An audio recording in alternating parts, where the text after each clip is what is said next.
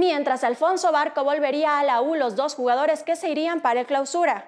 Se ha podido conocer que Alfonso Barco tendría todo para regresar a Universitario de Deportes de cara al torneo clausura. Su préstamo con el defensor Sporting de Uruguay termina a mitad de año y como todavía no hay nada concreto respecto a una nueva sesión, ya se habla de este jale para los cremas.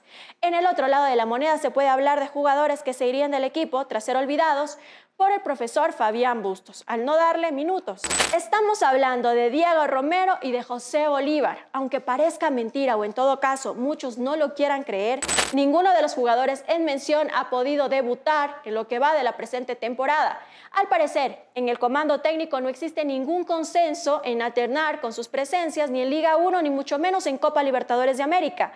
Así que lo mejor para cada uno de ellos es que vayan buscando nuevos aires en donde realmente puedan competir en el caso de Romero, se pudo conocer hace algunas semanas que tenía algunos sondeos desde el extranjero y del torneo local para continuar con su carrera deportiva a partir del segundo semestre de este 2024, aunque todavía nada confirmado hasta el momento. En cuanto a Bolívar, es muy probable que pueda encontrar algún club en donde sí pueda destacar, tal y como podría ser Sport Boys, en donde ya supo brillar, o quizá en equipos de provincia.